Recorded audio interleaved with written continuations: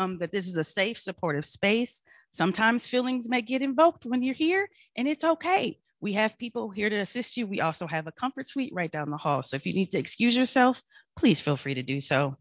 Um, also, just note uh, if you want to use the Whova app, please try not to if you're in person, but online, please continue to do so. That is where you'll get a lot of information, and that also includes your surveys. So there's a couple ways you can do your surveys. We have the barcodes on the door. One is for CEUs, and one is just for the regular session. And then, or you can take it through the Whova app.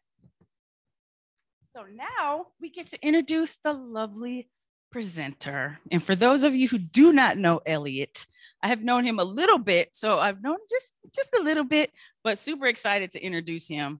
One, um, some of his experience, and you'll see some of this in the, in the bio, but uh, he has a lifelong, lifelong experience with bipolar 2 disorder, ADHD, and opioid addiction. But again, he is not all those diagnoses. He's so much more than that. He's also a certified mental health and recovery peer support specialist, all about peer support. And then he is an empathetic communication system specialist. That is new to me. So I'm glad he's going to talk a little bit about that today. And then his work with youth and young adult population is informed by his formative experience with childhood trauma and the success he has been able to achieve in his recovery. His efforts as a mentor, educator, curriculum writer, and the work that he does with the D. Wood Foundation won grants from the city of Austin. He's also helped create peer support programs for historically Black colleges and universities. Um, and he's got many awards as well from the United States Substance Abuse and Mental Health Services Administration. So welcome, Elliot. And I also want to give a shout out to his mother who was sitting there in the audience that came all the way from Philadelphia to help support him.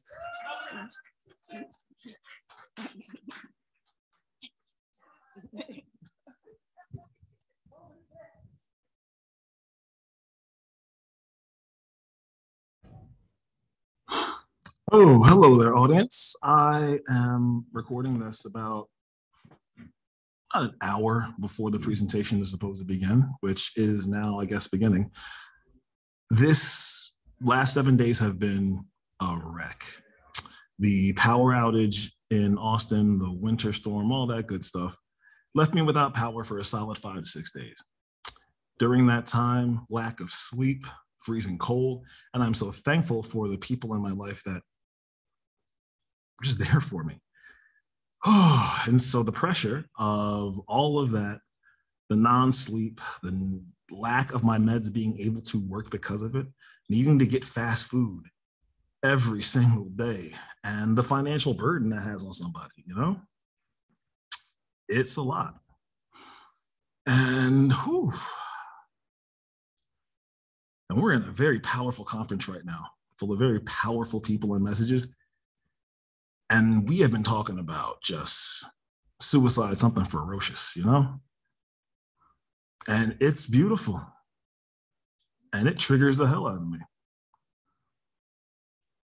And it's not just that, it's more so the intensity of the conversation around suicide.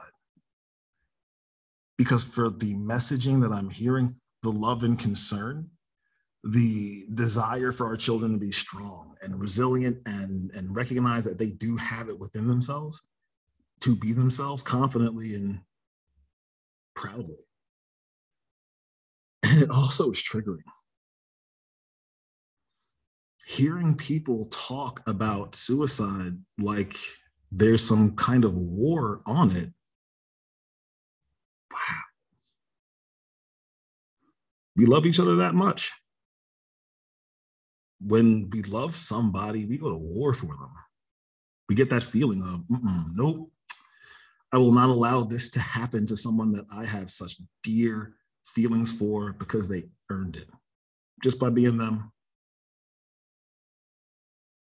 and I just also want to make sure you recognize that that shit is triggering. It hurts.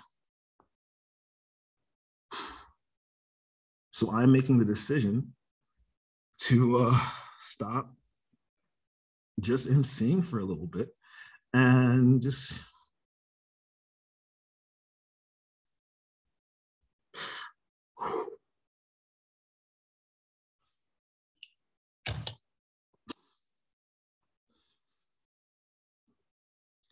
remember that all these feelings make sense. Every single one of them makes sense. I was having suicidal ideation just last week or the week before. And it's okay. Because when you have two attempts under your belt, actually, technically three, I just happened to not win through on the third one. Uh, that doesn't leave me. It's never going to leave me. The idea of getting over something or moving past, mm, not so much. And instead, I like to think about it as I'm going to grow from it. Hell, I already am, you know? And so that's something I'll talk about in just a bit as we get through this and we get into the whole programming and what it's going to do and what it is doing and the beauty that is going to manifest. And right now, I'm just going to sit in this presentation room and be. I'm going to step back from every single responsibility of an MC because moving a crowd right now is nowhere even near second to the importance of this program and the the effect it is having hell on me, let alone the world around me that needs youth and young adult peer supporters who are certified, who are specialized, and who know exactly what they need to do to take care of themselves because they are the model. All right.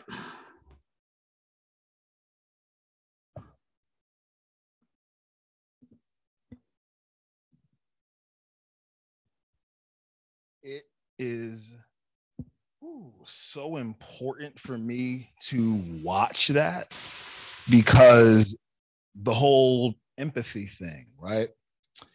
if I can break down how I am feeling inside, if I can figure out exactly what the last whatever 24 hours times six is, and I'm not even going to pretend like I can do that in my head.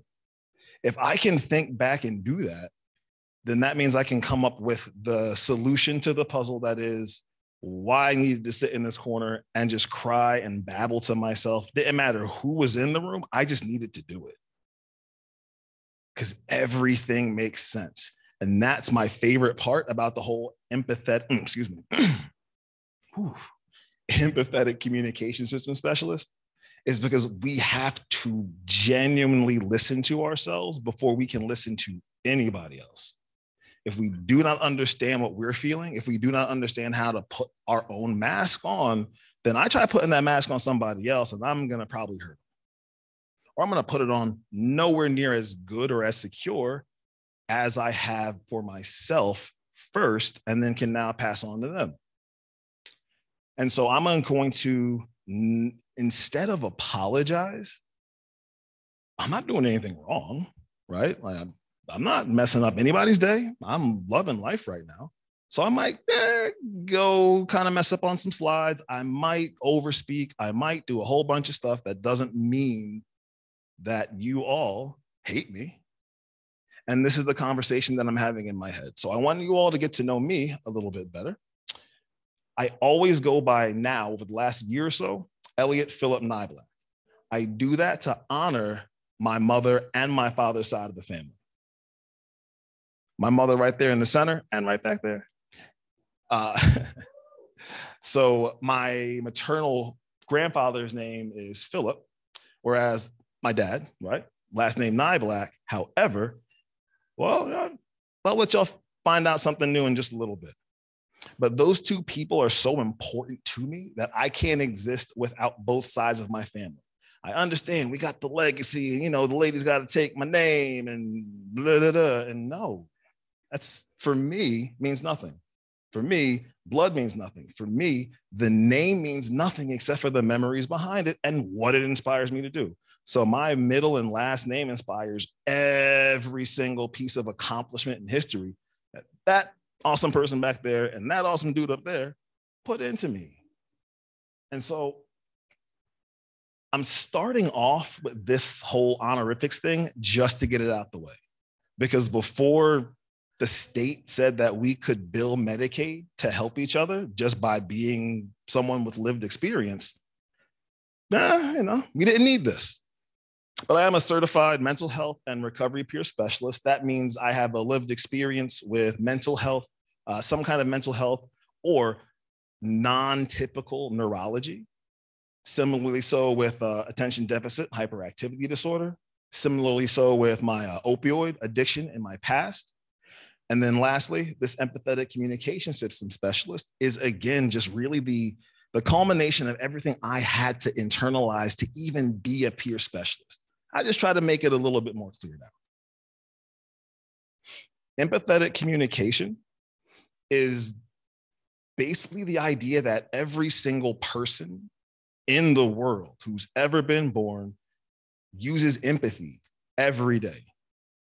And we have this narrative now of empathy that is, I guess, all nice and positive and rainbows and sunshine. And if we just had empathy for each other, we'd all hug and we'd be best friends. And that is us loading the word empathy with what we would like it to mean. And there's nothing wrong with that. It's just that empathy is simply stepping in somebody else's shoes for just a moment. And so if I can do that and I can know what they're saying without them even saying it, then I know how to how to act with them. And if I want to be a predatory bank lender giving out loans for individuals who cannot afford getting them back, I know what it feels like to be scared. I know what it feels like to have a family that needs me. I can understand the sadness that comes with maybe losing a place, even if I haven't experienced it. And so I know that person right there, they need this house because they're afraid. Empathy. And so I say this very like evil sounding uh, description because I just want to get the narrative changed and get that conversation going. Because empathetic communication is all about non judgment. It's about identity affirmation. And what that looks like is, well, I am who I am. And I can trust myself to be who I am. Inter and intrapersonal, that all regards about like how I talk with you all but the intra, the inside me, I need to know how I'm talking to myself. Am I being mean to myself? Do I like myself? Whole bunch of stuff. Those uh, color coded language words there, they all have something to do with how we either accept, deny, or actively straight up just kick out the way the feelings that we have inside first. And so all of these, I believe, can lead to some magic because they did for me. And so to give you an idea about my, I guess my past or my qualifications, firstly, currently I am the Chief Equity and Education Officer for the D. Wood Foundation. Uh, that also goes in regard to Director of Peer Support Services. I have always been an educator, always have been, always will be. Curriculum writer, both uh, within the education system and the peer system, as well as opening and having my own private peer support practice, Reality by Design. I can make my reality whatever it is that I want it because no one lives my reality except for me. It's relatively simple, right? I'm also affiliated with a whole bunch of amazing people and organizations. Uh, Austin Mental Health Community, where I am a mental health uh, crisis peer specialist. I go into hospitals. Uh, I meet people where they might need to be. It could be in a look. It could be in a in a restaurant. It could be behind uh, I would even say, what's the weirdest place I've been? The weirdest place I've ever been was in a Walmart dressing, that like the little dressing area right in the dead center where it just kind of is like, oh, I hope no one's watching me and thinking I'm stealing something, right? And I had a conversation there with someone who was just passed out in the corner. They were so just filled with grief that they could not leave and they were afraid that someone was going to arrest them for being crazy. And so I got to go in there and just say, hey, you know, if it's two of us over here crying, then I guess we're okay. They'll just kind of leave us alone. DBSA, Depression Bipolar Support Alliance. Uh, I do support groups for the Black community with those. And so I am always wanting to spread that information. Uh, with Via Hope, I'm now sitting on the board of directors. So now we are 50% people with lived experience. The biggest, real talk, only almost peer support service and uh, certification entity in Texas. And then with SAMHSA, uh, not only was I able to get an award for this program I'm about to show you, but also I'm now sitting on the peer leadership advisory group because there are some very serious reforms needed within the peer support space before something dangerous happens. And I know this all sounds very scary, and I promise you that you're gonna have at least a little bit of a smile. Not yet, though, because yeah, you see that word up there bipolar type 2, attention deficit hyperactivity disorder, PTSD, opioid abuse, suicide survivor. I like the little 2.5 there. I guess feels like a non even number. And then dissociative amnesia. And that's where the fun comes in. Philly, I'm just going to leave this here just for a moment. I see, you know, everybody's just kind of getting a little vein popping out of their head. All right, we're good, we're good. All right, go gritty. Born and raised, I swear to you, I'm going to hear at least one Will Smith reference after this, right? Don't pretend like you're not going to do it. And this is me in eighth grade. I think I was what, 14? Mom, I was like 14, right? Yeah. So I am the, let's see, I am the little rounded head thing in the back corner over here. And then on this picture, I have just decided to sit right in the worst sunlight possible so I can maybe fade away.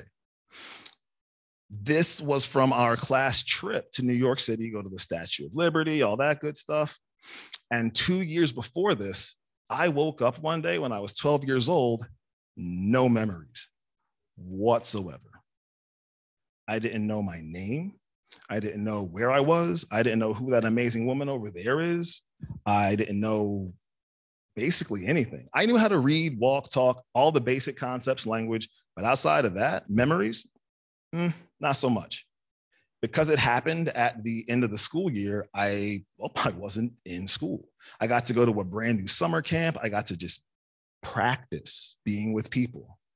I could listen to the radio. I could look at photo albums. I could do all the things to pretend and I could practice with new people. But when you get back to school, that practice doesn't really mean all that much. Before I could ever internalize my Philly self, I needed to learn who I was. And so you got the little jersey, uh, the Green Bay joint right there. You have the Tommy Hill. Wow, what was I doing? Look at the color combination here. I thought I was the thugnificent thing ever. Like, look at me. It's this is beautiful. And I had this like thing with my finger, just I'm quiet because I'm thoughtful. And that was the summer camp that eventually let me understand how much I love working with kids so that they do not feel the way I did when I was growing up. College me, yay. College was around the time I started wearing glasses because I just wanted to hide my face for whatever reason. I felt kind of ashamed. I don't know. I just didn't want people to know me. And my first car, I loved that car. That that that's 90 Civic manual got me everywhere. And that was, I think, right before I drove it to college for the first time, I think my sophomore year. And the very next year was my first suicide attempt. I needed to leave school uh, right after then, you know, I had to skip a year and then I went back a second time, made it through my, I guess, super sophomore year before the next year in attempt number two came. And then after that, attempt number three, that turned out to be 2.5, that was the that was the game changer.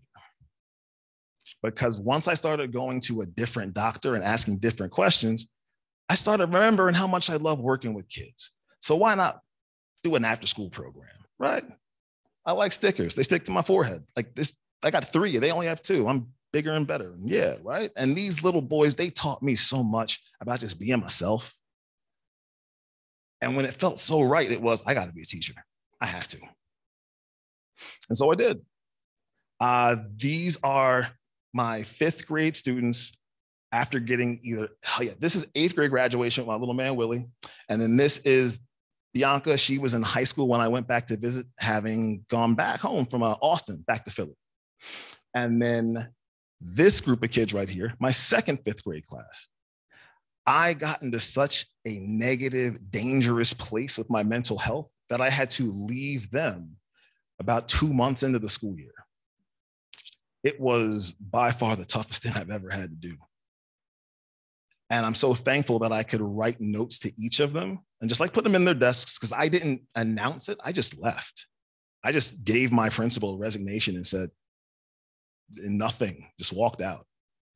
And I found out that about 10 years later, some of them kept the notes. And I couldn't find them to put them in this presentation, but it was just like, see, I'm on to something. High school, and this is me actually now during my high school time with the little worm sticking out my head. Oh, I got to teach in Hardy William High School back in Philly. And I mean, look at them. They're my little family. And it was such a shame that after that year, I got so depressed that I had an accident at the gym from not sleeping and broke my spine. Couldn't walk for months, nothing but pain. I was passing out just because my uh, meds fell underneath the sofa and I couldn't bend down to get them. And all of that, when I got my legs back, I just said, This is nonsense. I am so tired of feeling this way. I'm so tired of doing what everybody says. And then I realized I was tired of doing what I perceived everybody saying. And so now it was time to just say, sell all my stuff, put whatever I needed into her basement, and just drive. I had nowhere to go. I just said, I'm going to drive left. I started at Nashville and just said, wherever I go, someone will tell me where to be, and I'll go. And somehow, three months later, I ended up here. And I resumed the teaching. I started teaching inclusion pre-kindergarten. Mm, that was that was something special because I never thought I would do that. I never teach the pre-K, and they taught me so much. And they also taught me that my administration and my fellow teachers, as much as they may love me and want to do the work, they can cause some pain they can cause some serious pain. And so when I started thinking about killing myself a fourth time, I knew I had to jet before it became a reality. And so instead, now I, I started going into schools and teaching Black history in the perspective of Black history is American history. I believe that Black history, and I can legitimately show every single thing that has happened to us as a community has been copied every single minority in this country, everything they're going through, we have experienced. And therefore, we have the ability to have empathy with anybody. I then became a uh, mental health and recovery peer specialist, same with the whole ECSS. I'm not saying that entire thing out loud again. And this is via the Hey Peers platform as an online uh, source for anything regarding peer support, support groups, individual counselors, uh, curriculum writing, everything. One stop shop for just getting this and this kind of aligned. And so now, after all of that, after all the hardship and then the success, D Wood Foundation and our near age peer support program, because we deserve so much more than we are being told we are allowed to have. And so before we do anything else, I just want to read our mission statement that the D Wood Foundation's mission is to enhance awareness and advocate for mental health reform and suicide prevention in minority communities. I don't think I need to say any bit more about why this speaks to me so much. The objective of this program, very simple. Just we want to make sure that we can provide person to person, real talk, situationally dependent peer support for people who are of the same age. And I'm using that term near age and same age for a reason, especially with Black colleges and universities, as well as traditional spaces. Because we can create, I believe it, hell, I know it, that we can create a nation of just nothing but the most amazing support that we've ever felt. And it won't matter color, creed, nothing it will still matter that we identify as whatever we do. We can identify with something and love ourselves and still love other people as well. And so the outcomes that we're looking to achieve is well, first, retention. We drop out of so many colleges. I dropped out four times before I finally graduated and got my education degree. Whoa, that was, I ain't gonna lie, it was kind of fun. I got to go to Costa Rica for a little bit for a Spanish thing. I took Spanish one and I found out that I was actually okay with it. We want to see that academic achievement that I got to feel knowing what I wanted to do with my life. Finally knowing and having some kind of sense that I could do it. I had my idea about what will this do within, uh, within regard to diversity? Well, guess what? We make up about, I think like 5%, somewhere between 5 and 11% of mental health professionals. And that's nowhere near enough at all. And so the partner with us to get this going, we have UT Dell Medical School and their Amplify Clinic heading out of uh, Austin Community College within the form communities, well, they are our partners within getting our youth certified because it is a process and we do need that. And we also need to know that there's something more to it. And the more is all of our other partners because peer support, if it's just us coming into conference rooms, if it's just us talking about this negative feeling bad space, well, how about jobs? How about the Y and our physical health? How about just anything that does with music at the Sims Foundation. That is how we get to each other. That is how we start making genuine connections. And so tomorrow, mm, we're grand opening.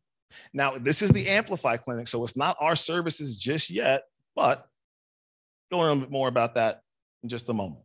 Because every single thing that we do is backed by data and data that we collect from our community from our events. So not from a mental health conference where everybody's just like, I'm not even going to that because I'm 19 years old and I have so much better to do. We have concerts, we have carnivals, we have people come out for raffles. And when you're happy and having a good time, you'll be honest about your mental health. And this is what we found. And we identified that within the Huston Tillotson University, all of this depression, that feeling of isolation, suicidal thoughts, that's a big deal. And so now we have the direct numbers and we do this survey within any school. So we're not taking national data. No, we're taking local because every community is different. There is no black monolith. There's no one who can tell me what it means to be a black person. So how can I go to every single school and treat them like they are the same people? That's me dissing my own people. The numbers that I was referring to we are hurting. We're hurting something fierce.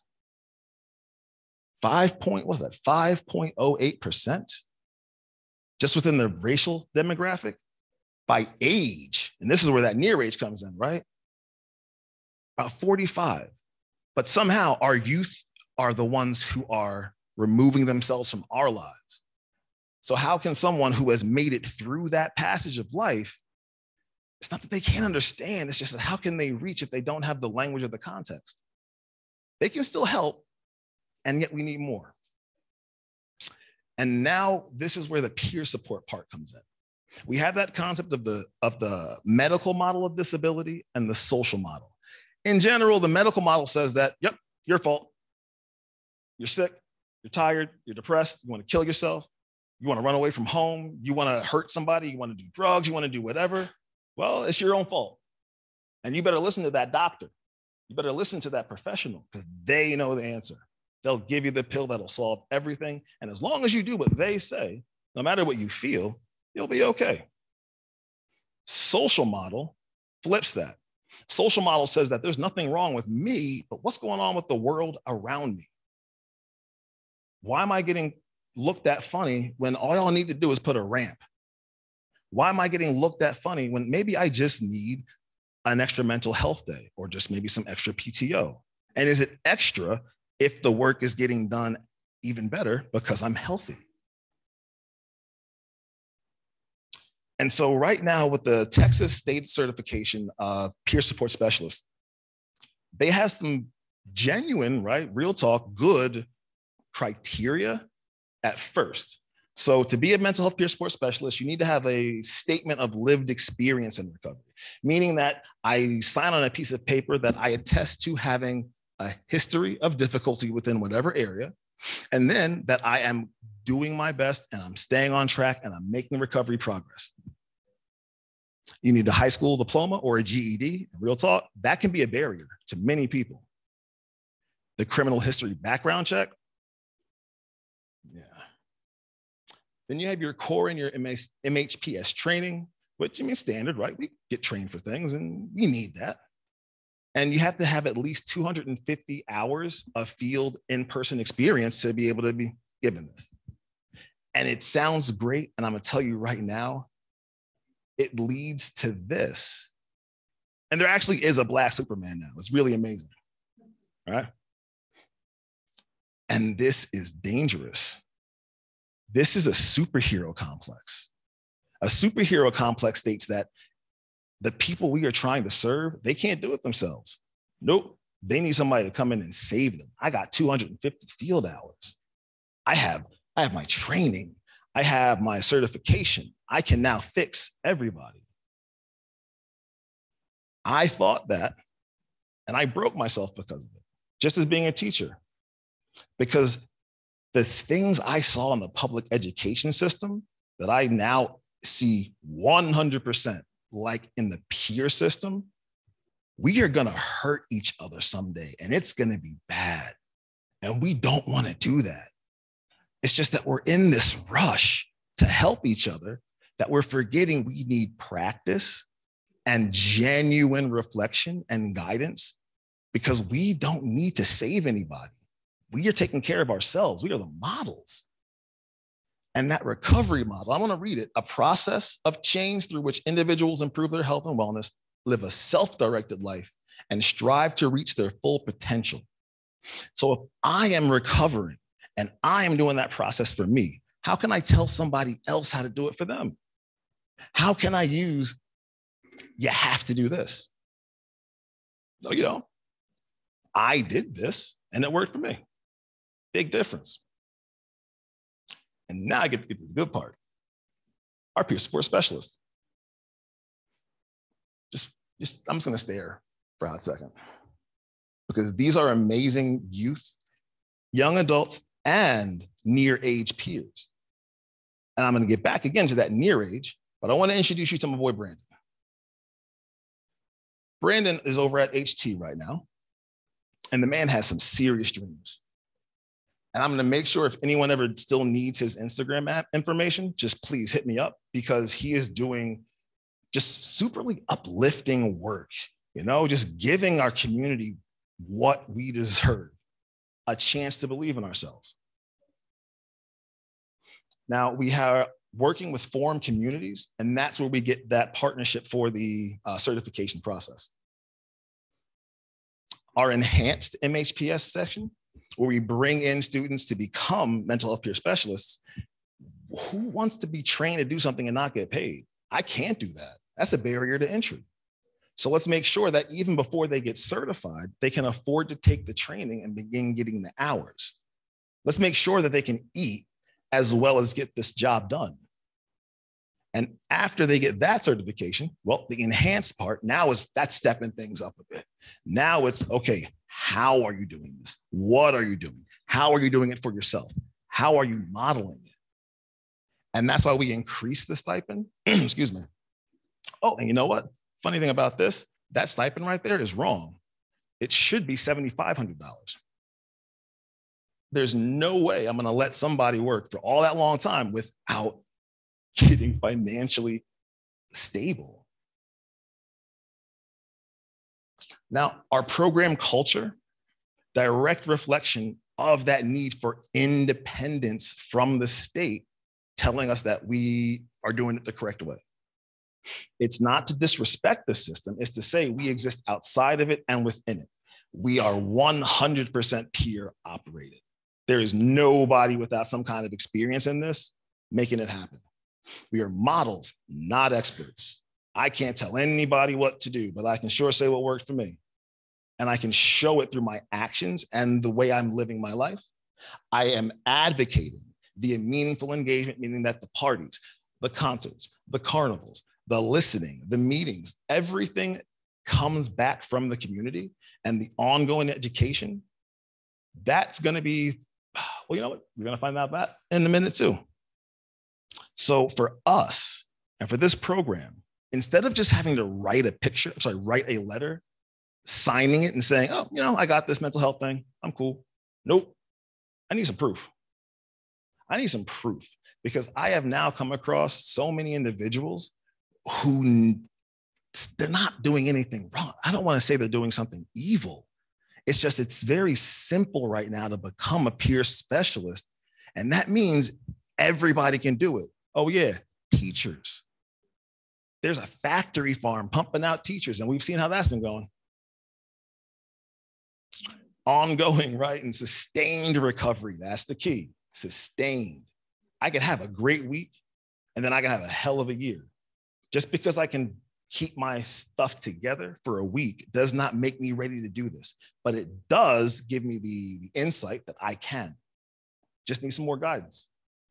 We focus on an internal self care model that put the uh, your gas mask on. Oh, that sounds horrible. Put your uh, air mask on before anybody else, right? And we utilize empathetic communication. 100%. I'm not even perfect at it. I am always practicing. But the idea that I can respect you as individuals without having to tell you what to do, that means I can respect myself. And so the process works something like this. When we have our students come in, they're not just students and they're not just interns, they are employees. These are paid individuals who are valued and given the education they need and the support that they deserve. Once we employ them, they go through their uh, certification training. They complete that. Then they can go on either to the top tier, right, where they continue their employment with the foundation, uh, as well as continuing to receive academic support because they're in school serving their community if an individual within an HBCU or a community college decides that eh, I'm done, well, they will still get that continued employment and support. And if they want to take it even further, well, and they just want to drop out, guess what? You still have the community there for you.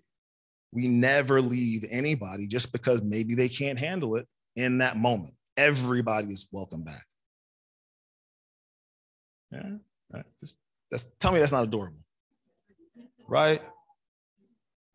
Look at that five head there too. It's, whew, teeth blinding. And so this is now where that Jones Niblack comes in. Phyllis Louise Jones, Lewis Elliott Niblack. My even my first name is my legacy. And on my mother's side, that's where the history of attention disorders is at.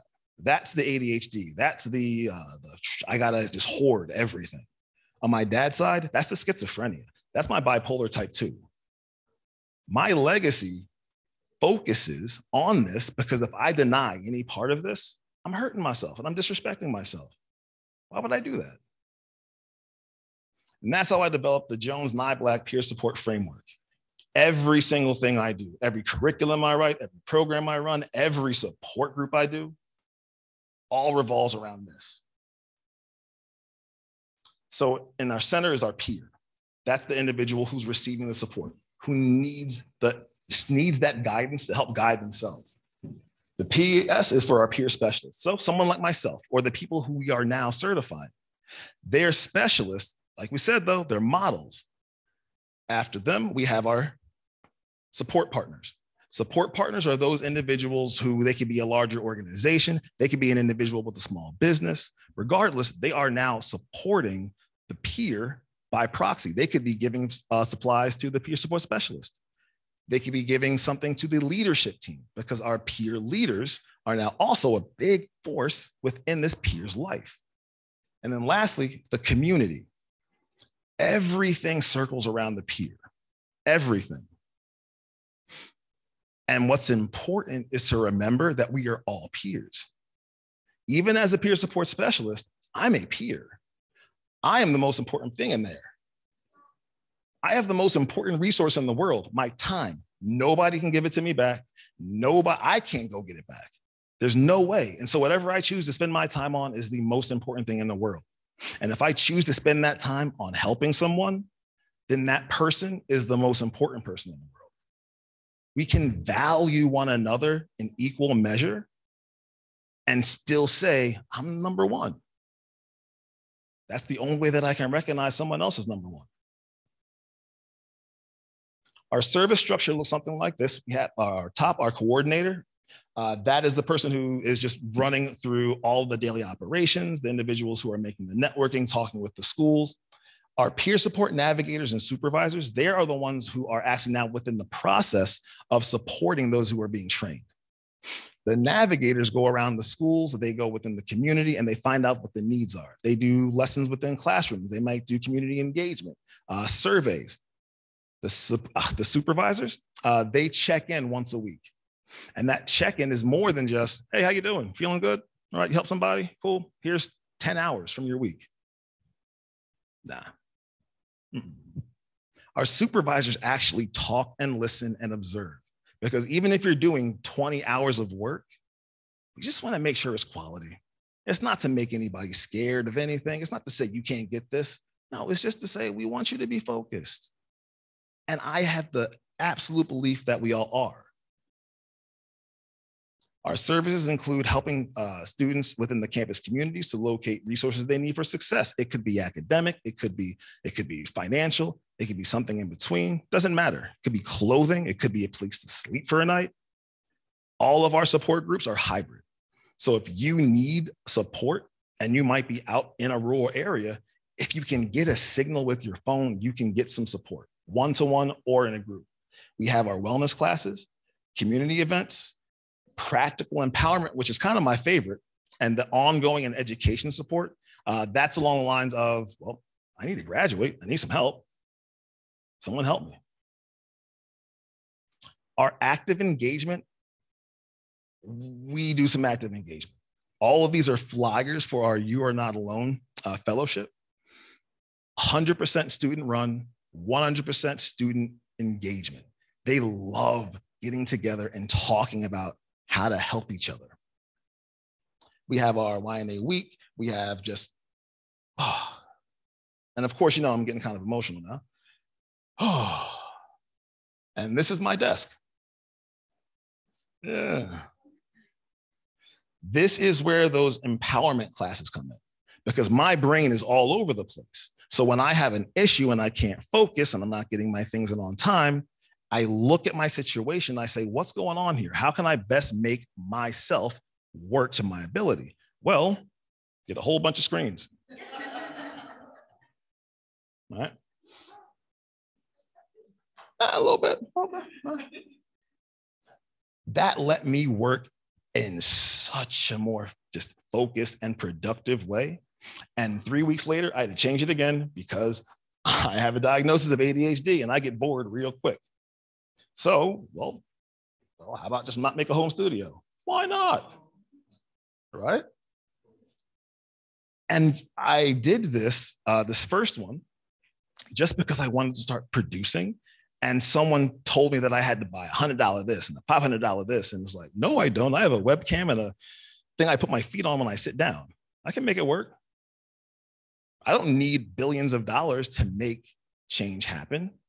And so imagine how many lives we could change if we just taught each other how to critically think and create solutions to the things that mean the most to us instead of letting society limit us.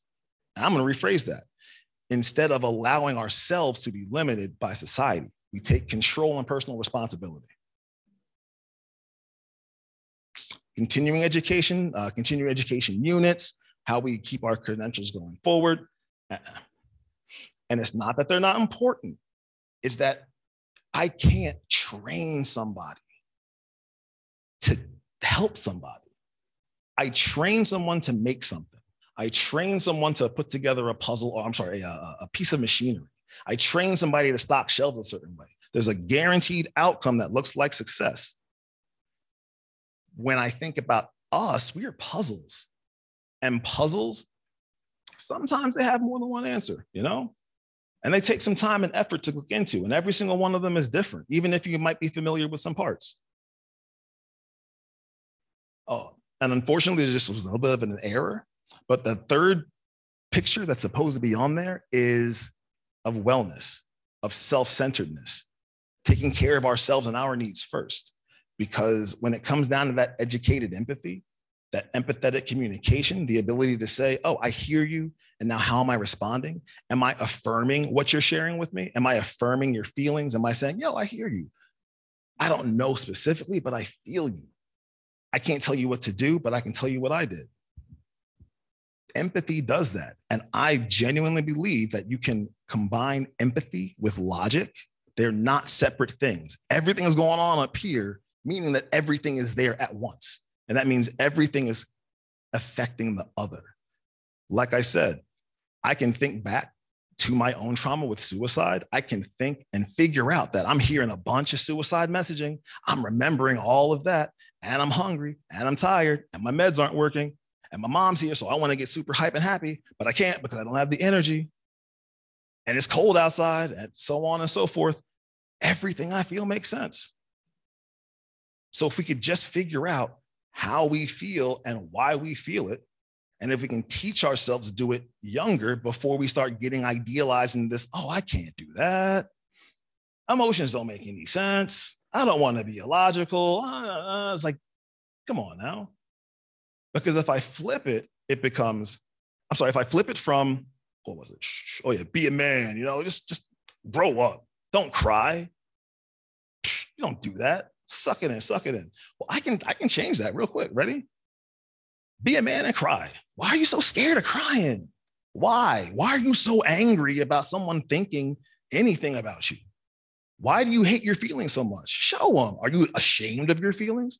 Do you feel bad about that? So imagine if we started talking forcefully about the power of crime, right? What if we change the language? That is what I want to do. Because out of all these programs, out of all the curriculums I write, out of all the things that I do and talk and say, I'm changing the language that we use when we talk about empathy and when we talk about mental health. I am done with us always approaching mental health from a space of something bad's gonna happen. Because that's how we're treating ourselves and our youth and young adults right now. We're thinking they're gonna kill themselves if we don't do something right now. They're gonna get online they're gonna do some horrible things. Education world, we call that uh, a self fulfilling prophecy. When we approach a person and say they're going to do something and we're going to make sure they don't, well, that's like me being told one of my students is uh, just so rowdy. He can't learn. He hates this. He's going to do this. I start treating them like that before I even meet them. And then I think about them like that when I don't even see them. So imagine if we started saying, what do we want them to do? What do we want them to believe and feel?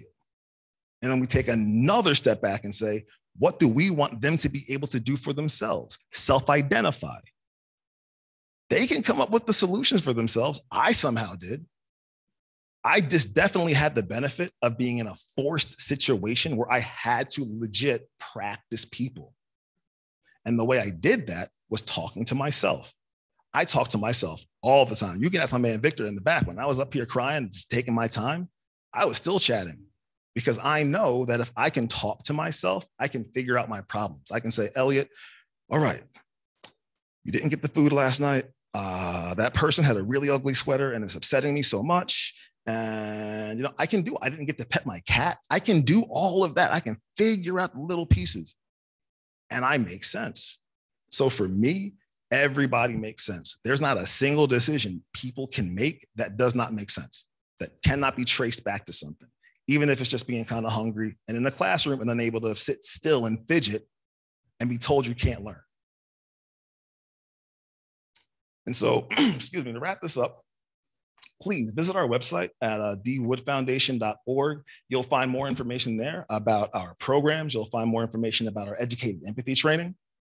And on the bottom, reality by design, on my end, that is my wish and desire for the world to just treat each other a little bit more kindness and understanding. And I love people. Y'all are really cool. Just please keep being you because you can make your own reality. And I also want to stop for a second and say, Mom, I told you that I had a surprise for you. Uh huh. So I think it was last year uh, or the year before, I did a presentation about youth and how we can advocate for our children in schools. And so I video chatted her to ask her questions about my childhood and what she experienced. And the one question that I wanted to say for this was what can parents do, or what can you tell parents? And by parents, I mean guardians as well. What would you tell them when they're experiencing some kind of difficulty? So yeah, I'll let her speak for herself now.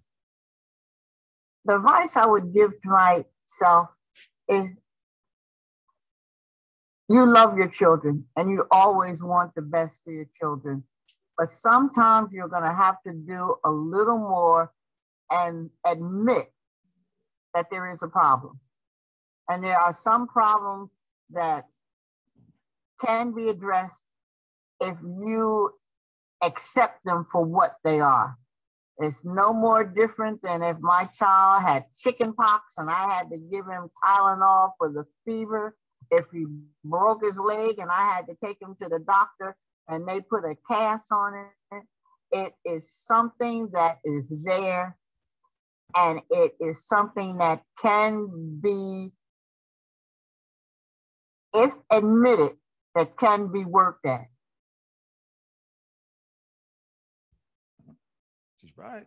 It worked out apparently. So good decisions. Yeah, I'm not going to be the only one here crying as a Niblack. Have fun. Go for it. Just So now as the actual end, I'm just going to leave this up here for anyone who needs any of this information. And I wanted this to not be some gigantically long presentation because I, it's not that I want you to ask questions. I'd actually like to ask y'all questions because that's another part of this program. Like, why should I be the one telling you all what needs to be done? why don't I ask you all what your experiences have been, what your thoughts are, because that is now going to give me more information on how to reach more people. I cannot assume that a gigantic study is going to be the perfect one for my little school. But I can use that big study to inform my decisions going forward. And so it's all equally valid. So I just want to take a moment and ask you all your thoughts empathy, uh, thoughts on what you are seeing or feeling, questions about what children might be experiencing, or how about y'all? What did you all experience as youth? What are you experiencing right now as a youth or adult? Or how about just a person? Silence is not a bad thing. So I'm going to just take a step back. I'm going to stand here and when anybody wants to speak, oh, by the way, she sent me to a Quaker school and we were taught uh, every Wednesday. We would just go to a meeting for worship house. We would sit there 45 minutes straight through, no talking. And if somebody felt like they wanted to say something, uh, they would stand up, they would say it, and they'd sit back down and no one would say a word.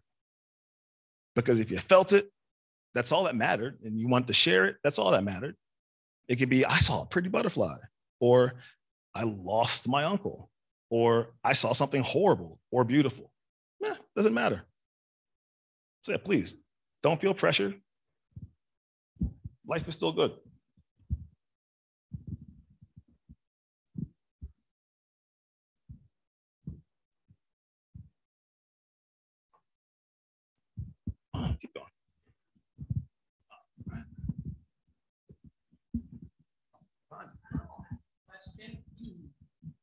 So, if you know of a person that is suffering from a diagnosis of schizophrenia and they do, um, and, and they and they do not want to take medication, they do not think they have a problem, they um, do, and parents are not I guess, equipped to know exactly what to do or how to help in that situation. Um, what would you recommend in talking to that person and providing resources to that person? How would you approach it from that empathy level um, and helping them? That is a beautiful question. And I am now going to ask you all what are your thoughts? What are your thoughts about just needing those resources and reaching out and feeling those things? Uh, Elliot, from personal experience, your stepbrother was a schizo. Mhm. And we spent years with calls from hospitals and calls from police stations and calls from neighbors. And you get up and you go and you're there, you support, you, you, you bring them home, you, you go to the hospital, you go to the clinics where they are. They go in and out and in and out. And it is work on you. It stresses you. It stresses you to the point that you begin to think, why am I always the one? Because you're always going to be the one that you're going to get the call. But then after a while, you get tired, you get stressed, you get angry, you get angry at them, you hate them, you don't want to be by them, you don't want to even admit that you know them. And when you have to get to that point, then you have to know you need to step back and you need to give yourself a breath of fresh air. You need to breathe in, think about what's going on because their problem is something that they can't help. And if you can't help, you can only be there to be supportive. And like they say, you need to put the mask on yourself first, and then you put the mask on others. So you step back, you take a breath, you leave it alone because what's going to happen is going to happen anyway. And then when you're back into the game again, then you get up, you put your big boy panties on, your big girl drawers on, and then you just work with them again. It's a vicious cycle. But until that cycle change, until they're able to see their problem, you need to not be a problem to yourself and to them. You need to support yourself because the strength in you will eventually work to the strength in them. So I want to thank you so much. And before we move on, quick question. Do I have a child with schizophrenia? I don't, right? So when you say, yeah, you have to do this, you have to do that, are you talking about me? I have to do that?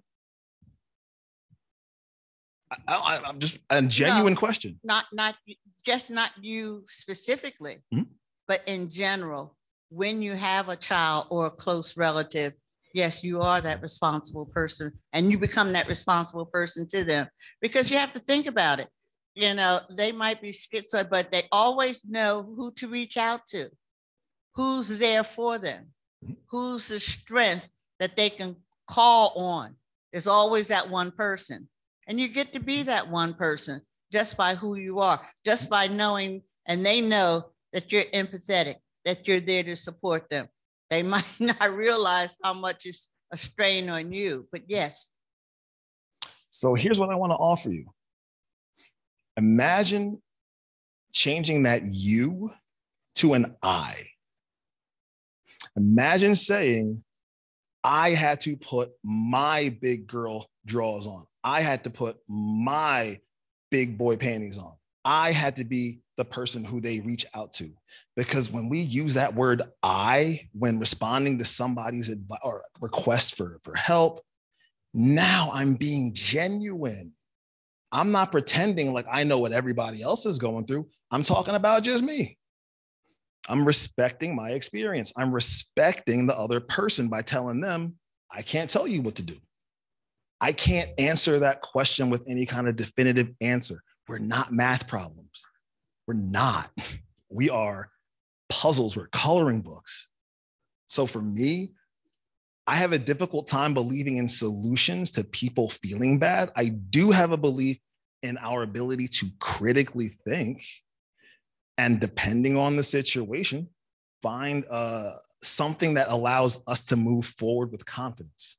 And I can only do that if when I'm thinking about other people's requests, I know I'm thinking about myself.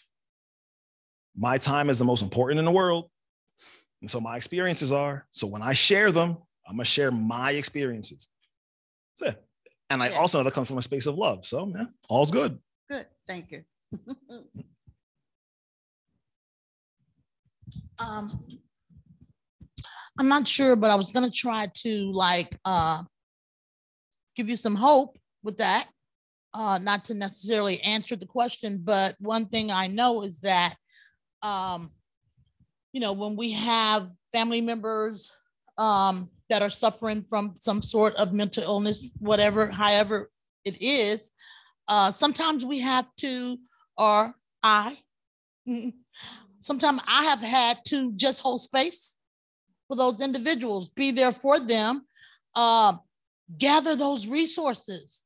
You know, sometimes uh, even with family members, it, especially in the African American uh, culture, like we didn't know about uh, mental illness and and you know, and, and if it if it's an older parent, like you know, we didn't speak about it. So it's about edu- educating just putting the giving them the information and allowing them to read it receive it for themselves um and then just holding space sometimes we just got to hold space for individuals until they get to that place where they have accepted who they are what's going on with them well they and even the point where they have educated themselves enough to say okay you know what I got a problem. Or, you know, this looks like me. This sounds like me. And then they become, and until they become actually ready to like reach out and say, you know what, I need some help. You know, we just hold space for them. We we we stand in the in the gap. We call it standing in the gap. We stand in the gap for them until they're ready. And we pray that, you know, that they get to that place where they are ready. That's what I have. To offer. And so one, one, two, I guess. So I just want to put this out there too, right? That when you question yourself with that word we and I, we is exactly the same thing as I in many ways, right? Because we can be a community. I can talk about the community that I'm in and I'm, you know, I, I love. I can say that we have been through so much.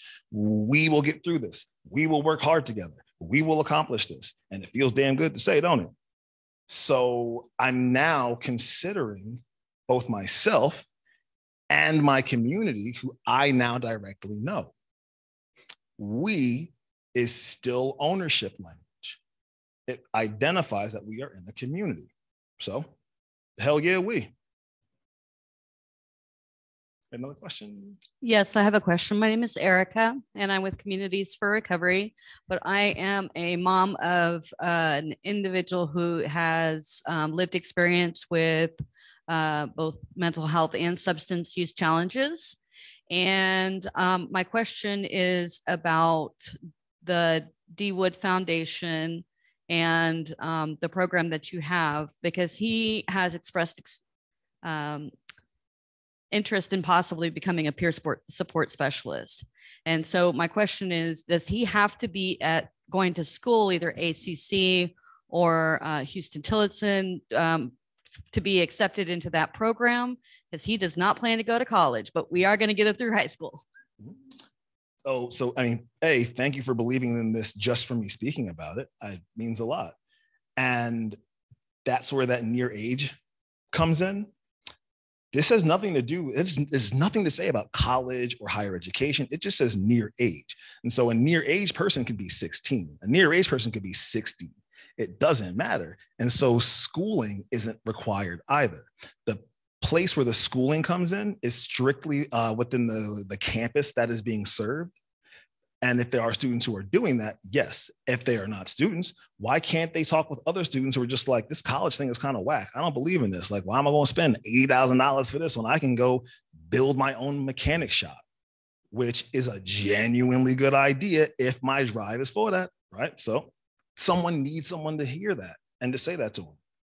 I also have one other question. Um, so, are you what population are you serving? Is it only in the schools where you are um, your uh, peers, peer supporters are providing services, or are you um, specifically are you in Travis County Juvenile Justice? Because um, I think there's a really big need for um, youth peer supporters or near age peer supporters in the juvenile justice center? so thank you for that question um, because it allows me to kind of get into my criticisms of what peer support looks like right now. So I've come across a lot of different youth peer support programs that have been failing like no other. Like the facilitators just drop out, uh, there's not constant attendance, so on and so forth.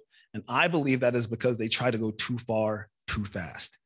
When it comes to the one to one mentoring for our peer support specialists, they don't do that until at least solid two, three months of observation. And then they can do some one to one, so to speak. I'm just still there, or a navigator is still there, and we have permission from the other peer to do that. Uh, or they can come along with me when I go do one of my visits or one of my mentoring services, things like that. So going outside of the college ecosystem means I'm now trying to spread myself too thin. But now, if I'm taking my time and building capacity, that is exactly where we want to go. But when we're ready. Thank you so much. Up front.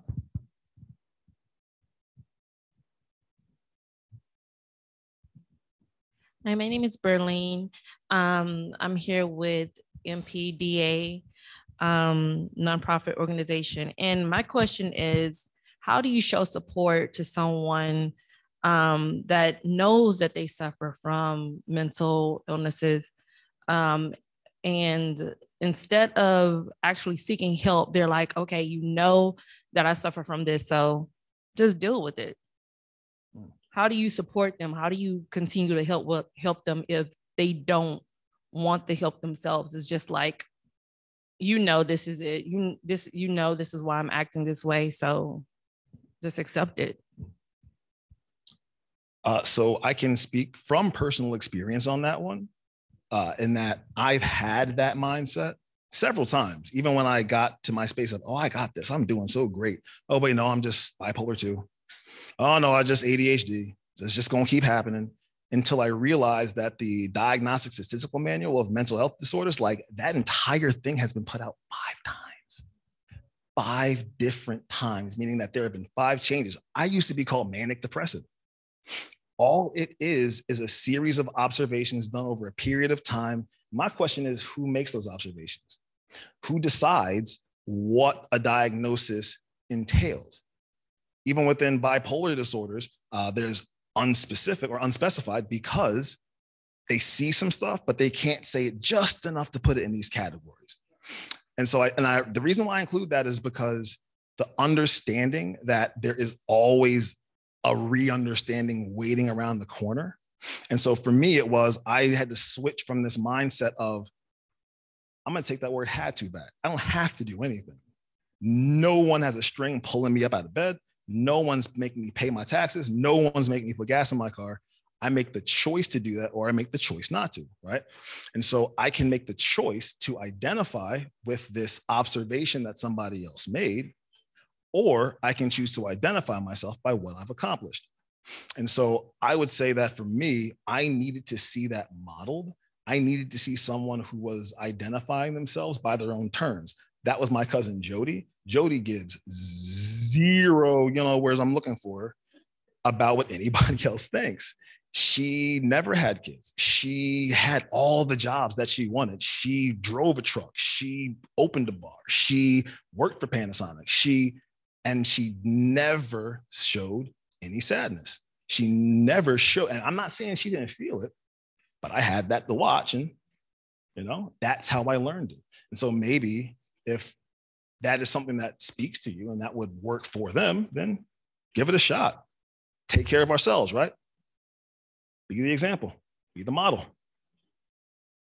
But how do you do that when you're being dragged down with them? Mm. Like, how do you put yourself in that element? Mm. You mm-hmm. know, of actually saying, okay, I, yeah, I, I know you have this issue. I'm accepting that. I'm accepting you for who you are but wh- how do you do it? How do you just say, okay, I'm just gonna sit here and take it? Or do you, I mean, is how do you approach them? Like, how do you say, okay, yeah, this is your issue, and then saying, but this is then it turns into like an argument. Then it's mm-hmm. kind of like a debate on. So, like what's the solution? So since I don't have that direct experience, I can get some thoughts, but I want to see if there's some actual direct experiences first.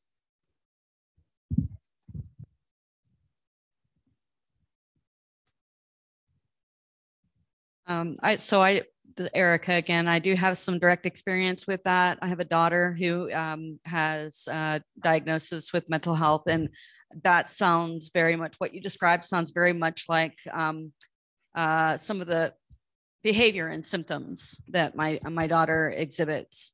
Um, for me, the important thing is um, setting really good, healthy boundaries for myself um, because I she's her own person. She's going to have her own recovery journey. Um, if that's what she chooses, I can model um, healthy, positive behaviors and recovery behaviors for her, and um, I can set my own boundaries and um, and I can be real clear in my language and just um, say, look, I, I love you.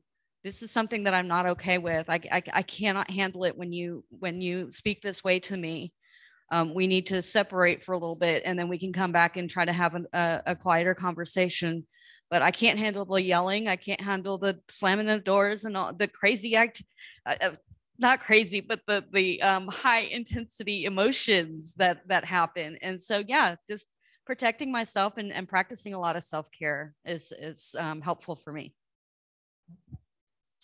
And so that genuinely reminds me about how there's this ideal of empathy. There's this ideal of empathetic communication. Oh yeah, we just have that this inner peace, and I just have to be able to accept. And, it's just like, uh-uh, I'm a human. I got feelings. You know, I, it's not that easy. I can't just shut it off by putting a different word in a different place.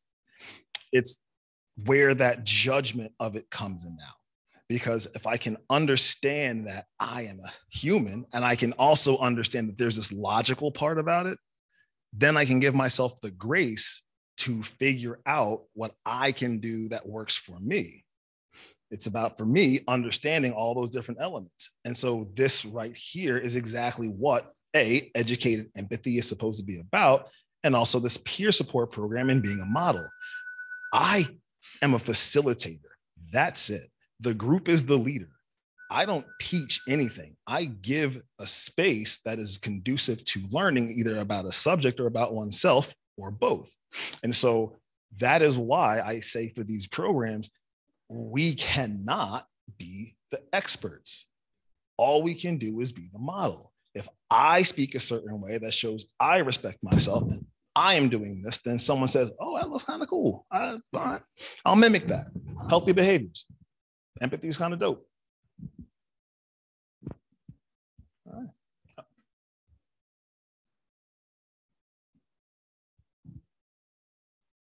Hi, my name is Jody, and I have a nonprofit, Teens Grounded in Victoria, Texas. Um, and we have a, a youth leadership program where we work with junior high and high school students. One of the things we've really been working on is how to build empathy uh, within our junior high and high school students. Um, I understand that there's been a lot of trauma the last few years, and maybe that's kind of created some numbness there as far as you know having empathy for others. But I was just wondering if you had any kind of curriculum or anything that you use to build empathy with young students. Uh, yo, yes, I do, and I would definitely love to talk with you about that uh, later, even right after this. And the information that I can give in general is that the curriculum is very much individualized based on the group. So it's like, what is the culture of the space? Uh, what is the community? What are those communities' needs? What really made that stand out to me was coming from Philadelphia down here to Texas, where in Philly, we have, and honest to God, on like the East Coast and South in general, we have a certain narrative of the civil rights movement. We have a certain narrative of what race looks like in America. And so we see nothing but the same images. We see the buses, we see the dogs, we see the fires, we see all of that. And then when I came down here and I saw that there was like five of me, and everybody else came from a different cultural background, but the same messaging was still being used, it created this division of understanding and then animosity.